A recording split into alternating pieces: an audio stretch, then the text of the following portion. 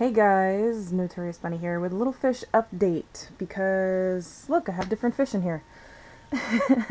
um, there's a very good reason why there are other fish in here. Um, the orange Serpae tetras that I had in there before, they were very aggressive. Um, well, not very. They were they were aggressive, and I added all these guys in here. These are neon tetras.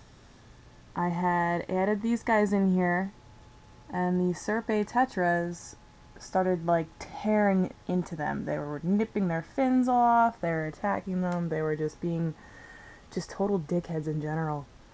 So I had given those Serpae Tetras to a friend. So I got rid of them. They're not dead. They're fine. They they're fine. Now these guys I love. The neon tetras are very vibrant and they school, they're very active um, and they just get along with everybody. You know, I had a group of neon tetras in with this guy, which, uh, as you can see, his tank is very disgusting. I had to clean it. But this is Tyler. Um, I had done a video about him a while back, which I'll link in the description.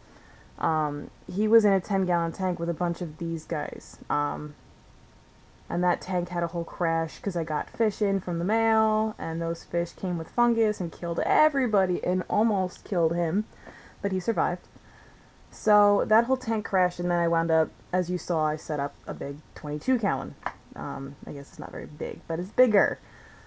So, but I did want to just update um, the fact that I put in new fish, the new fish, and um, how these plants have blossomed.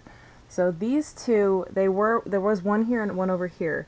I moved them around, um, and this one here got bigger. The they're all pretty much flourishing, except for this one in the back down here, the one that they're all kind of on top of now. Well, they just moved away, but the one with the little brown spots on its leaves, that one's not doing so hot. I'm kind of bummed because it's one of my favorite plants and I really want it to just be big. Um, and I added this Anubias here um, I actually took it from in there and cleaned it up and put it in here. And just to give it a more of a full look. So, I mean, all these plants, I mean, you see how big this one is. It was this big when I got it a month ago. Um, so they're all doing pretty good. I wound up, I did move that one. It's still up, so there's like a little cave back here. But I did, I did move that so that the Anubias on this driftwood over here can get more light. Um, but so yeah, just this is my quick little update. Um, I do plan on adding a few more fish.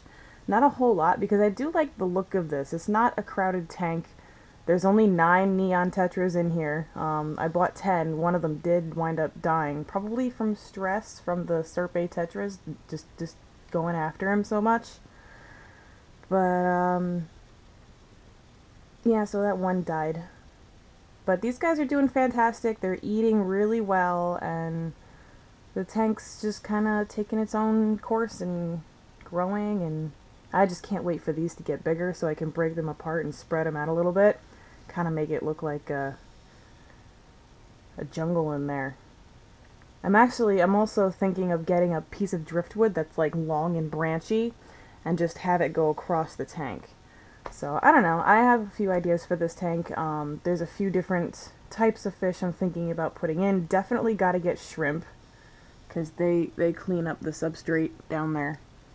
Um, they keep it from uh, getting dirty, you know, too much. They move around the sand, so you have constant movement in there, which is good. And then it becomes its own little ecosystem, and that's really what you want in a fish tank is um, to emulate where the fish came from. So, I mean, neons are, they're from tropics where there's a lot of plants and I mean, this really doesn't have a lot of plant life in it in comparison to their home. You know, I really could do it up more. Um, I still left the broken jar in there. I guess it's an okay touch. I did add this one piece of bamboo, but I definitely plan to get some more bamboo and do like some rows or something with them. So I've got a few ideas and I'm kind of excited about this tank and I really wish I had room for a bigger one, but I don't. Um, I will see you guys next time. Hopefully we get a freakishly hot day, because um, I did, on Christmas, I did ride my boyfriend's motorcycle, and he rode his other motorcycle, but I didn't have a memory card for my camera and I didn't happen to grab the Pivotheads here, so I was vlogging and turned out I didn't have a memory card. So, um, yeah, uh, but I'm hoping to get in some motorcycle vlogs soon, um, but I did want to just throw up this quick video, so, uh, like I said in um, some of the descriptions, uh, which no one ever reads the description on any video, if you want me to do, like, an entire first setup of a tank and maintaining it, like, putting it all together, I'll do a small scale version, and I'll totally show you guys exactly a, a to B how to set up a tank and maintain it and blah blah blah. So if you want me to, I will. If not, that's fine too. I don't care. Um, but I just love these guys. Look at them.